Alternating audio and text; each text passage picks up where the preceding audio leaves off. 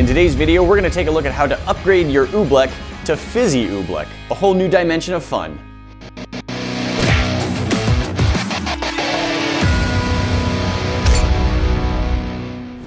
Most of you have probably made what's called oobleck before. I hope so. It's fun stuff. It's a shear thickening non-Newtonian fluid, meaning when you apply pressure to it, it gets a lot harder, and when you just let go, it just liquefies and runs everywhere. It's made of two ingredients, cornstarch and water. If you want to get crazy, you add food coloring and you have colored oobleck. And you don't put it in your Amazing blender. stuff.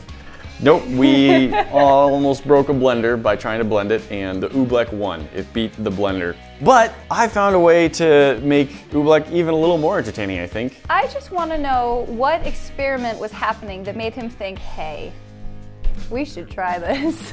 Here's the basic idea. Most of you have probably made the non-Newtonian fluid known as Oobleck before. It's made of cornstarch and water, but we want to try taking this to a new level.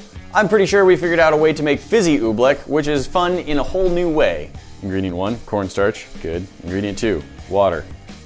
Ta-da!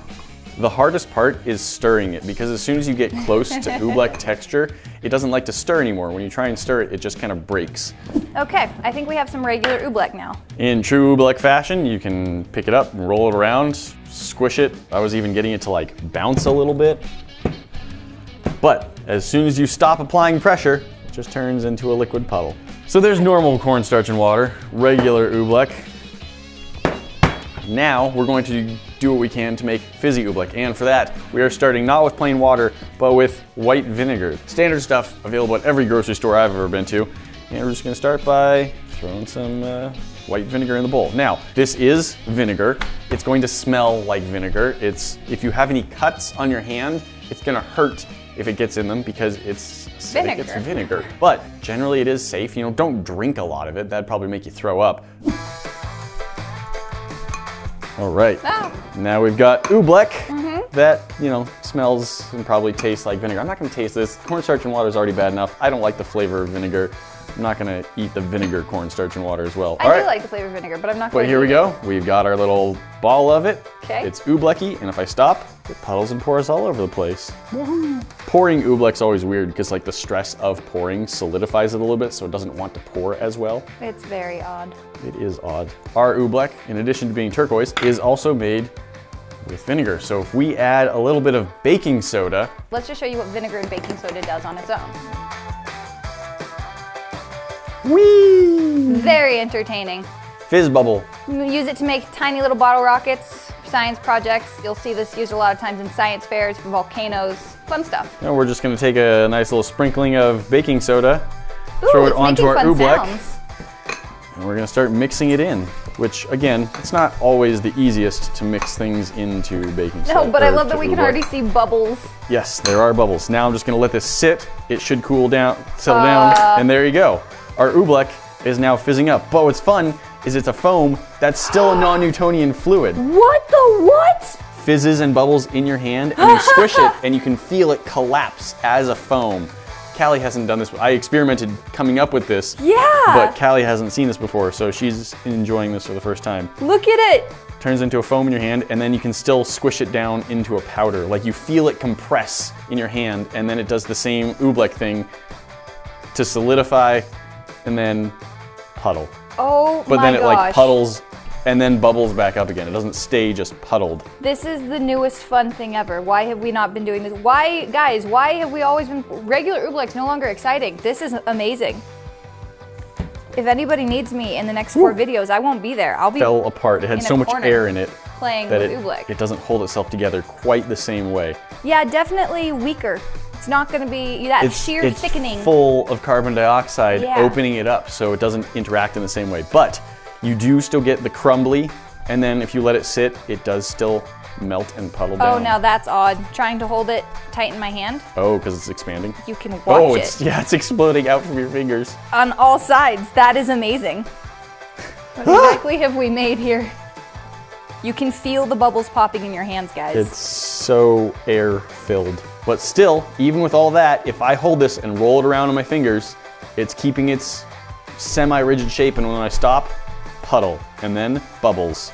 Well, at this point, I think we've uh, used up used up a lot of the uh, the bubble power. So you get 10 to 15 minutes of bubbling out of this. I mean, it's gonna keep reacting a little bit less as time goes on, of course, but when it stops reacting, you're mostly still just gonna have Oobleck. Oobleck, the original version, Oobleck 1.0, which isn't as good as Oobleck 2.0, the fizzy version.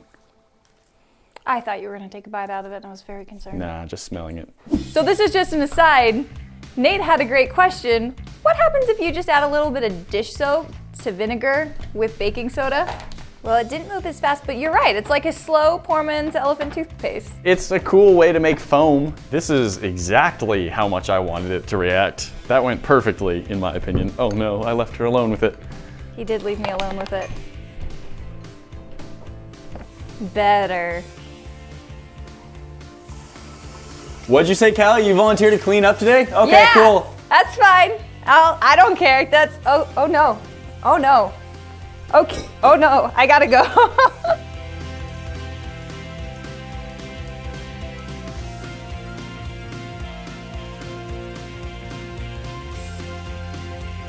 I'm going to remind you before I do this that it was your idea. All right, there's a little extra liquid in here right now.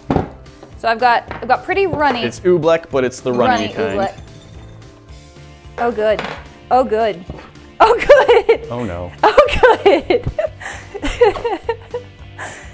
But what's the texture like if you Ah! use your hands? It's- we made foam. We've I don't Like powdery foam. We've made powder foam. There's, I couldn't mix it all the way. There's still stuff underneath to mix. Oh no.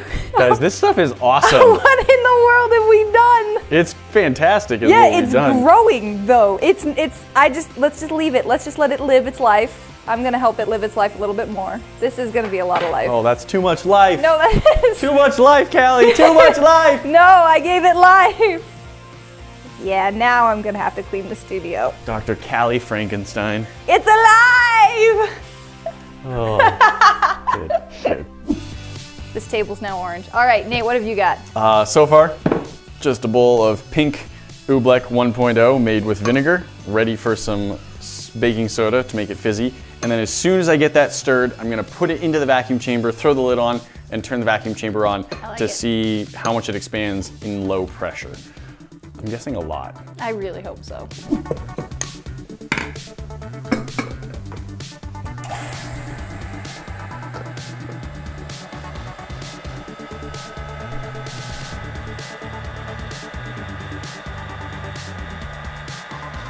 Well, it's bubbling a lot. Yeah. It does look very alive, so you know we got that. And it's not settling down terribly. I mean, it's already settled some. We don't have the same bigger bubbles that we had at first, but the way that's just like bouncing around is pretty cool. So I'm gonna try take the balloon off now. So we just got a balloon that's mostly full of oobleck, which is odd because like I don't know, that's weird. Like you squeeze it and it just stops. It like resists you pretty hard. Eh, eh, Yep, okay. But then, like, if you're really gentle with it, you can squish it and squeeze it. I'm gonna turn this vacuum chamber off. I think that the bubbles are, you know, exaggerated a lot because, of course, there's very little pressure in there. So let's see what happens if we uh, let pressure back into those bubbles. Yep. Let the pressure back in and most of the bubbling stopped. So it could have just been, you know, boiling the water because of all of the low pressure. But that is pretty interesting to see. What's the texture on this like now?